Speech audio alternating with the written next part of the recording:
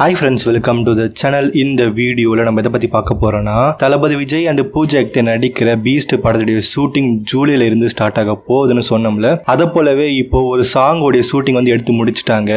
Johnny master இந்த சாங்குக்கு choreograph பண்ணியிருக்காரு. அவருக்கு ஜூலை செகண்ட் பர்த்டே அதுக்காக சன் பிக்சர்ஸ் அவருக்கு விஷ் பண்ணி பீஸ்ட் படத்துடைய செட்ல இருந்து இந்த போட்டோஸை ரிலீஸ் பண்ணியிருக்காங்க. தளபதி விஜய் பார்த்தீங்கன்னா தெரி படத்தோடைய கெட்டப்ல இருக்காரு. ஒயிட் பியர்ட்ல செம கியூட்டா இருக்காரு. பூஜா அக்தே உடைய போட்டோவை இன்னுமே சன் பிக்சர்ஸ் ரிலீஸ் பண்ணல. அது ஏன்னு தெரியல. மகா படத்தோடைய டீசர் ரிலீஸ் ஆகியிருக்கு. டீசர் பார்க்க த்ரிஷா நடிச்ச பரமபதம் விளையாடு படத்தோடைய எஃபைட் வந்து லைட்டா தெரியுது. ரெண்டு படங்களுமே ஹீரோயின் ஓரியன்ட் மூவி அண்ட் ரெண்டு படத்துலயுமே சைல்டு கிட்னாப்பிங் சீன்ஸ் இருக்கும். அண்ட் ரொம்ப நாளுக்கு அப்புறம் ஸ்ரீகாந்துக்கு ஒரு நல்ல ரோல் கிடைச்சிருக்கு. இந்த படம் ஒரு நல்ல கம்பேக்கா அவருக்கு அமையட்டும். சிம்புக்கு வெறும் கேமியோ ரோல்னால அவருக்கு லவ் சீன்ஸ் மட்டும் கொடுத்திருக்காங்க. பட் இந்த படத்துக்கு ஒரு நல்ல ப்ரொமோஷனா எஸ்டிஆர் இருக்காரு. படத்துல அந்த பொண்ணை தேடி போற சீன்ஸ் வந்து நல்லா இன்ட்ரெஸ்டிங்கா இருக்கும்னு தோணுது. மகா இந்த படம் எப்போ ரிலீஸ் ஆகும்னு சொல்லல.